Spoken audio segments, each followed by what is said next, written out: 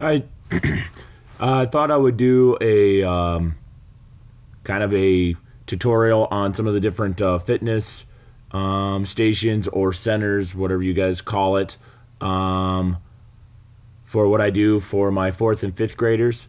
Um, so this is just an idea here that I set up for different fitness uh, activities that I do with uh, my uh, students, and I will walk you through it here. And then uh, more information will be on the blog, as well as different exercises that you can do with your fourth and fifth graders, and things like that. Um, bear with me some of the graphics here that I've that I've uh, cited and stuff like that. Um, uh, don't show up the best, but um, I'll explain it here. So on the signal, what I do with my kids is I have a uh, an app workout on my iPad where I can set up different intervals.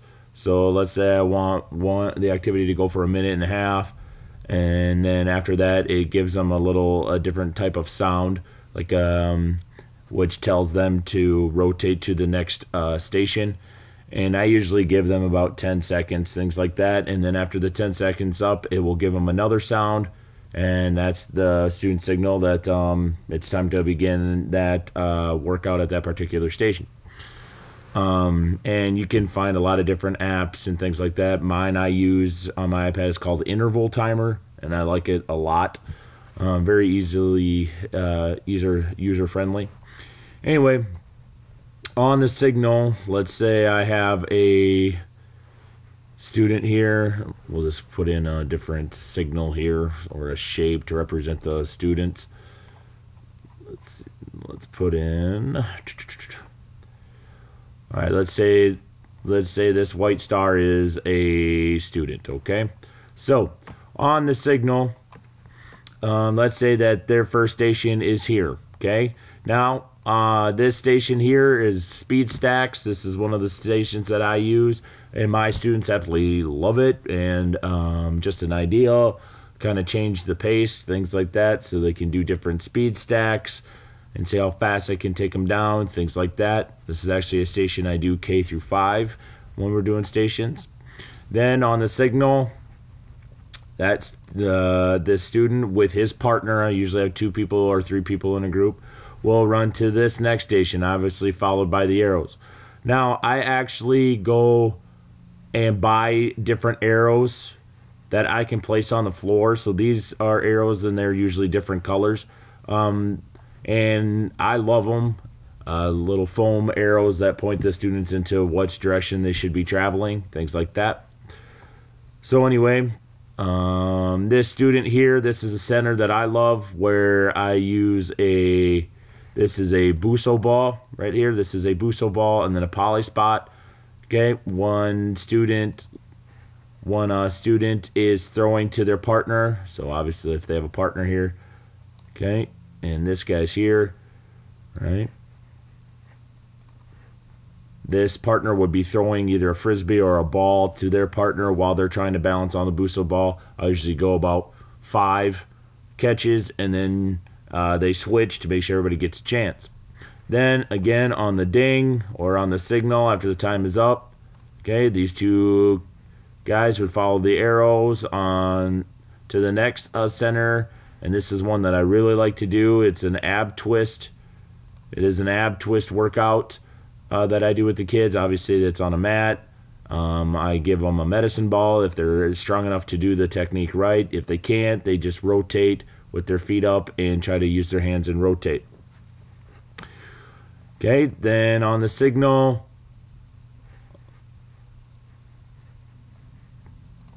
on the signal, the these two kiddos would go to this next center, and this center obviously is a wall sit Okay, so this would be a my mat. This is underneath the basketball hoop. Has got a mat along the wall, so these two students would sit along the mat and try to hold as long as they can for the minute. If they can't, they usually go 30 seconds.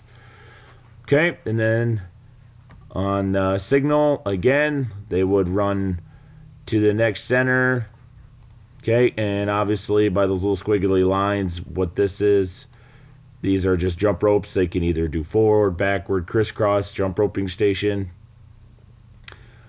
Okay, and again, if they need to take a break, they can. Um, and they try to go for a minute and a half.